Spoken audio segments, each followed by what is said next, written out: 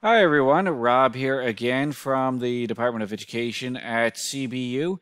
I've had a colleague who's asked me about working with wikis in Moodle and how to automatically add in or how to create one of these neat little tables of contents.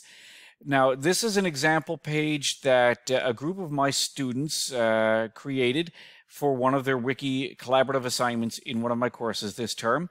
And you can see that they've got it all nicely laid out with all kinds of headings in here. And at the top of the page, there's a table of contents.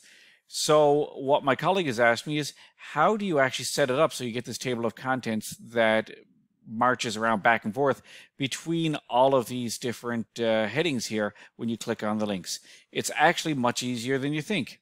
So I'm going to pop on over into another course shell that I have in Moodle, and I'm going to click on this uh, blank sample page here. I'm going to create the page, and we'll have a look at how to add one of these menus in. So the first thing I'm going to add in here is a few headings for my section. So this will be head, heading 1,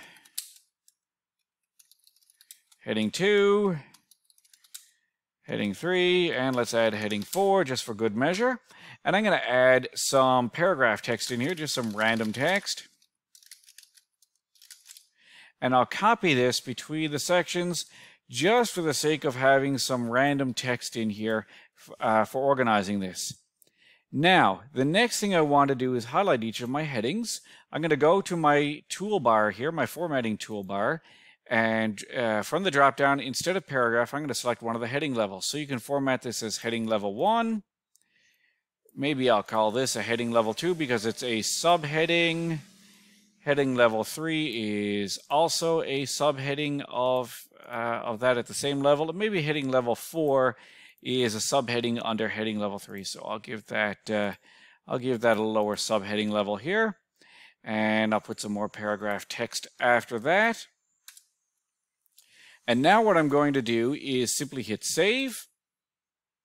You'll see my headings have been automatically put in. My paragraph text is the same. And now my table of contents has automatically been generated based on the heading structure for the formatting that I used from the formatting toolbar.